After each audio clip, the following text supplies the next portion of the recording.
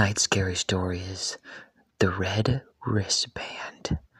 A doctor was working at a hospital, hospital where the patients were tagged with colored bands green, alive, red, deceased.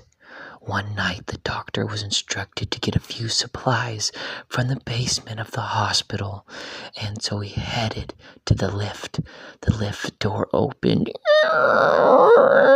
and there was a patient inside, minding her own business. Patients were allowed to roam around the hospital to stretch, especially those who have stayed long. The rule was to be back in their rooms before 10. Tick, tock, tick, tock. The doctor smiled at the patient before pressing the number for the basement. He found it unusual that the woman didn't have a button pressed. He wondered if she was heading to the basement too.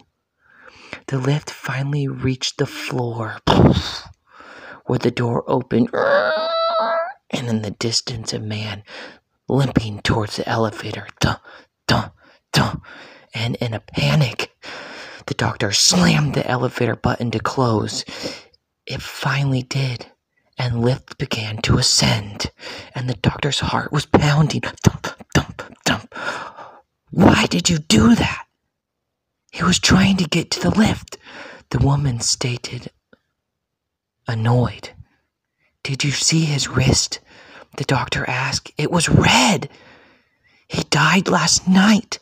I would know because I did his surgery. The woman lifted her wrist. He saw red. She smiled. Like this one?